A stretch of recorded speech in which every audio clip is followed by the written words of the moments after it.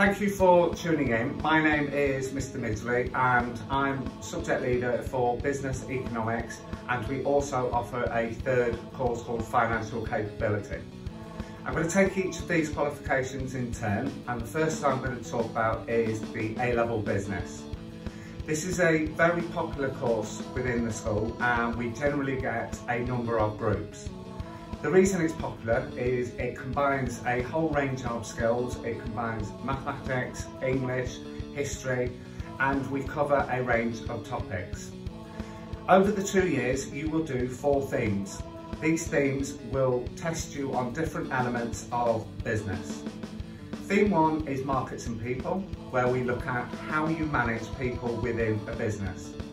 Theme two is all about finance of a business and we look at more accounting principles within business. Theme three is about, again, finance, but it's more about measuring performance of the business.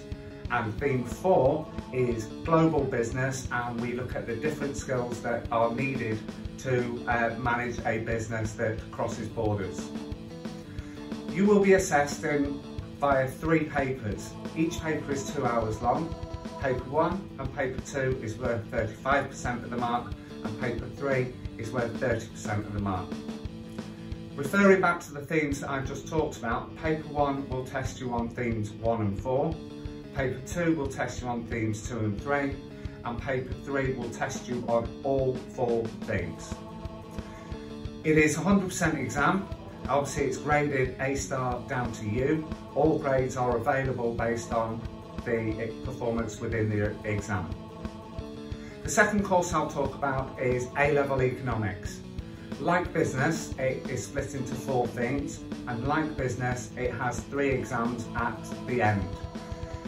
The four themes are based on different elements of economics. Theme one looks at the role of government and firms within our economy.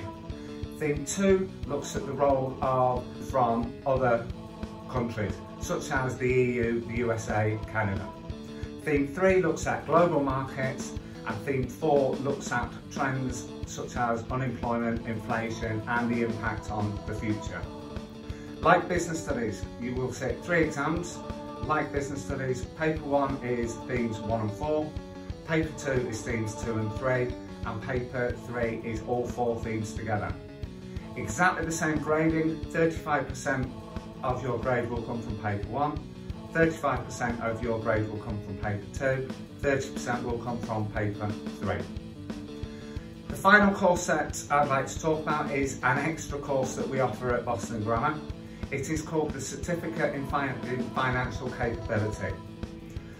This is a course that you will have little uh, contact with your teachers and the idea of the course is that it, uh, the majority of it is self-taught. It looks at two units. Unit 1 is finance in the short term, Unit 2 is finance in the medium to long term. It is a practical type subject where you will explore concepts such as loans, credit cards, mortgages, hire purchase, just to name a few. Pupils who sit the course have really enjoyed it because they've learned new practical skills. The course is assessed um, in the same way per unit.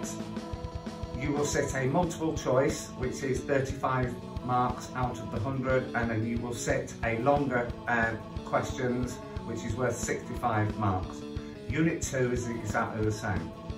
You will be graded again A star down to U, and this qualification does carry UCAS points and there is an opportunity to do the second year if you choose so. Thank you for listening. I take all three courses, Finance, Economics and Business Studies. I find finance is useful as it will help you prepare for your futures. For example, you'll learn about mortgages and savings accounts. Business is useful, especially if you're wanting to pursue a career in this industry, as it allows you to understand how business makes decisions depending on things such as cash flow, forecasts, market research, and customer needs. Economics is useful as it allows you to understand the economic world around us and how external factors such as the coronavirus will affect us in the future. The teachers in these subjects are very friendly and helpful, and if you're stuck on anything, they will be more than glad to help out.